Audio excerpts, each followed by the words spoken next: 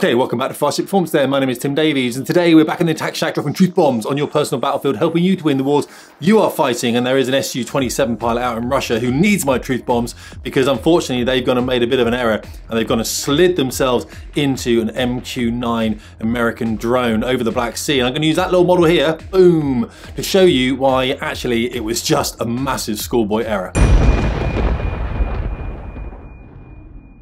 Yeah, so not every jet pilot is cut from the same cloth. Actually, to be fair, that's the sort of pass that a lot of my students would have made. And if I hadn't taken the control off them, then they would have probably have driven themselves into the other jet. Now, I flew these airplanes here, trained students on these for about 20 years in the Royal Air Force. So I'm going to use this little aircraft here, this little Hawk, and I'm going to show you how what the Su-27 pilot actually did was just a bit of a mistake.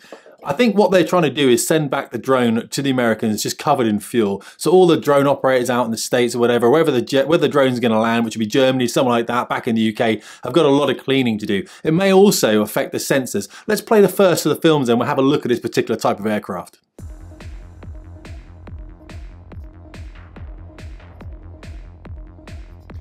So I've stopped it there then, and we can see here from the pictures that it's actually an MQ-9 probably A drone, which would be known as the Predator B. Now it's got some upgraded stuff there. You can see there's probably some sensors additional on the base there. It could be some fuel in there. And on the wingtips, it's got these kind of fairings and that allows it to actually go longer, longer distance than otherwise uh, it would allow. Now on the back there, it's got a Honeywell turboprop engine, which gives it great range. It's got great loiter capability. The ceiling of this airplane, so how high it can fly, is about 50,000 feet, but it kind of operates around about the 25,000 feet mark, which is well within the Su-27 envelope, but there is an issue with that, and we're going to talk about that in a second. And also, this top speed of this aircraft is about 260 knots, or about 300 miles an hour.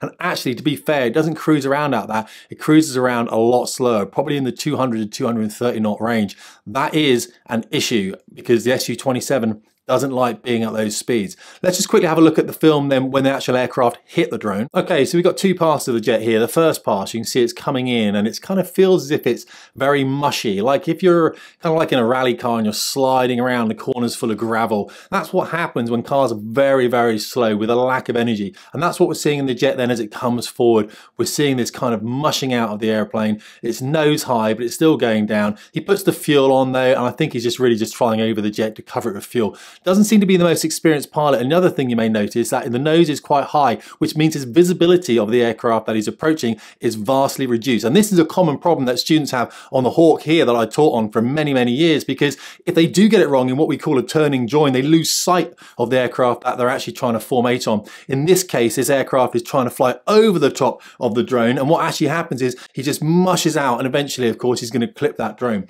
This first path, then he just covers it with fuel, probably just trying to get all the sensors a bit dirty, really lad, bad lad, bad lad. And on the second pass then, I think you can see the, the drone shake a little bit there. This is called kind of like washing out. We use this in tactics against helicopters quite a lot, but what it takes is energy. So he needs energy to go over the top of that and to pull up like lots of G, so like 400 knots pulls up here and the wash of the wing will just make that, make the drone do all that kind of stuff, okay? It's a bit of a, a bumping tactic. I think we used to call it thumping.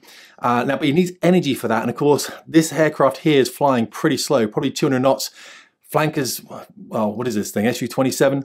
Su-27s don't like flying that slow, and so of course he's going to be very kind of dishy, very wobbly. And we see on the next pass then as he comes in, he's thinking, I'll get a bit close this time, lad, lad, lad, click, click, click. And the problem is, he does get a bit close, and I think he clips the propeller with part of his aircraft, which could be the rear stabilators, if you have a look at those bits there. I'll just pause this so you can see the bit I'm thinking of. So these bits here that I've just put circled on there, I think these bits, uh, that bit specifically is going to actually touch the prop and cause it to get bent. He is well out of shape there. This guy is just poor piloting, I reckon, you know what I'm saying? Because you can't see anything. This jet is like this now. I can't see the camera lens from this jet here. I just can't see it, can I? Because I'm just, I use this in my flight school, by the way. So he, you just cannot see, he cannot see what he's approaching. So he's pulling, he's going, oh, have some of that, bang, hits the back of it. All right, now he's going to be fine. He's massive, but this MQ-9 is made of like paper mache or whatever for endurance, and unfortunately, it suffered um, pretty badly there. So he's going to clip it. See the camera go, meh, and uh, that thing's then going to fall in the Black Sea, and the Americans are going to scramble around to try and recover that thing before the Russians dig it up. I don't think it was intentionally. You see the you see the bent prop there. I don't think the Russians are going to intentionally try and, uh, or they intentionally try to do this. I think they just literally messed it up, guys.